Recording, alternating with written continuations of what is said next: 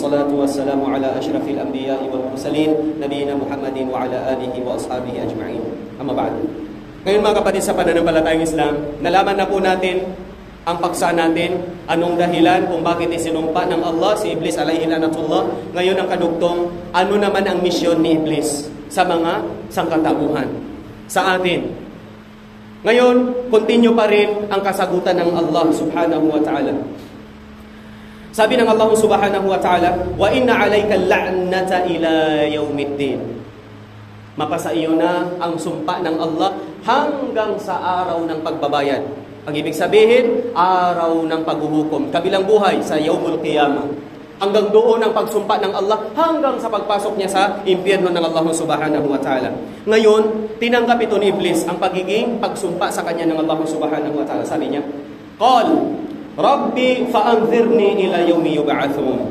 Ito yung nakakatakot, pangako ni Iblis. Ito yung naka, nakakatakot. Pakinggan po natin mga kapatid sa pananampalatayang Islam.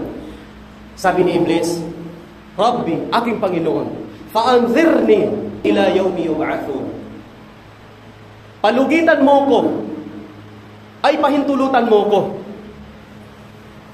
Hanggang doon sa Yawmul Qiyamah. Anong pagpapahintulot dito? Suwayin. Basahin natin ang kadugtong. Sabi ng Allah, Qal, innaka min fa innaka minal munzarin.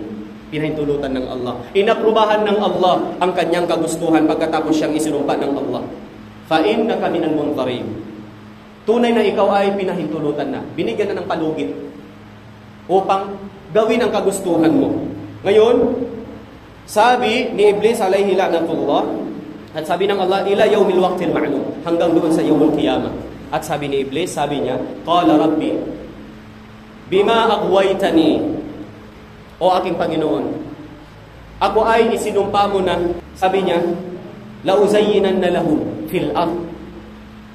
Palamutihan ko sa kanila, pagandahin ko sa kanila, aakitin ko sila. Sino yan? Maangkan ni Adan. Tayo yun. Palamutian ni Iblis, pagandahin ni Iblis, gawin sa atin ang kaakit-akit ang ano? Ayon sa tafsir, ang pagsuway sa Allah subhanahu wa ta'ala.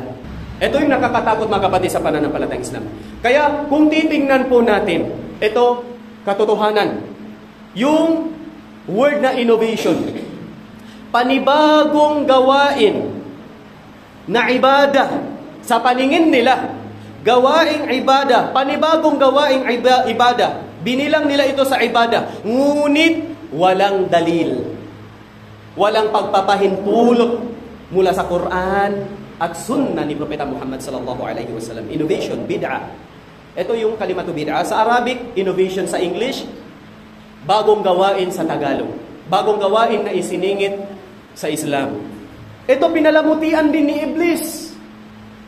Kaya nga, sabi ng, ng isang alim, al-bid'atu ahabu ila iblis.